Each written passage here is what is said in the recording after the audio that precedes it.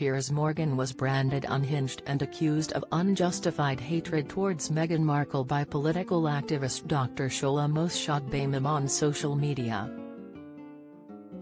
However, the former Good Morning Britain presenter, 57, has since taken to Twitter to oppose the suggestion his comments were racially motivated as disgusting and defamatory. Piers Morgan's latest attack on Meghan Markle is unhinged and other usual media suspects trying to discredit her podcast, hashtag archetypes demonstrate their unjustified hate for her, Dr. Shola wrote on Twitter in view of her 156,100 followers. She continued, it's not criticism, objective or otherwise, it's racially motivated bigoted hate gaslit as difference of opinion. However, Piers quickly fired back in view of his 7. 9 million followers, this is a typically disgusting and defamatory tweet from Britain's most disgusting race baiter.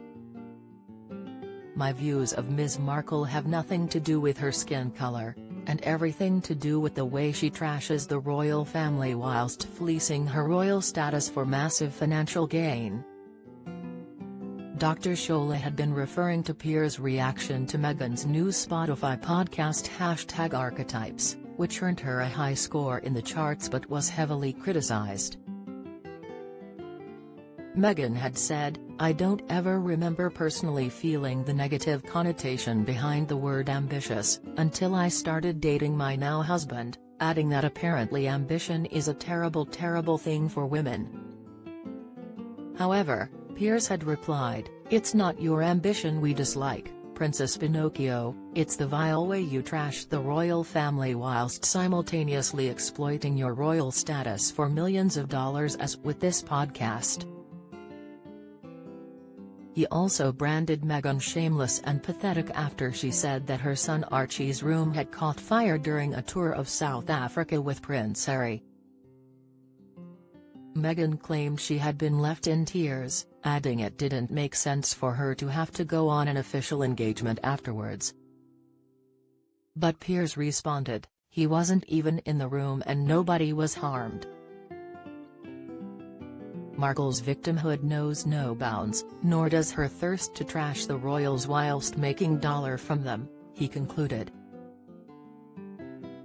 Twitter user at ABTR2017 agreed with Piers, telling Dr. Shola, you are the racist one in this tweet.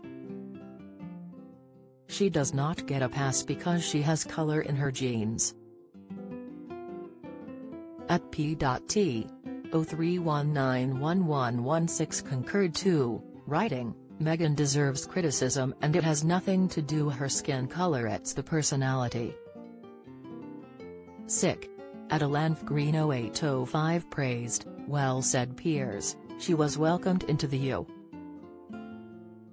K with open arms, a fact conveniently forgotten by those that have wrongly jumped on the racist bandwagon. You are right, it's her character that is the problem, a big problem. Meanwhile at Ozbat99 wrote, I suspect that Piers Morgan doesn't like liars, black, white, blue or green. Others suggested that they should be able to critically assess people of all ethnicities, without their race being assumed to be a factor in their opinions. However, at Musa Rory Winston argued that most black people saw Piers as racist quizzing, it's a family feud, why are you emotionally invested in it? Then at Slimbo32 slammed Piers, writing, you're obsessed with her. If you were an average man you'd have been served a restraining order by now. Meghan's podcast Archetypes has just been released and the first episode features an interview with newly retired tennis star Serena Williams, who is a friend of hers. The podcast discussed the negative portrayal of female ambition, but newspaper reviews slammed the show, with the Times claiming it was full of vapid chat and absurdities and others complaining that Meghan had not focused enough on the words of Serena.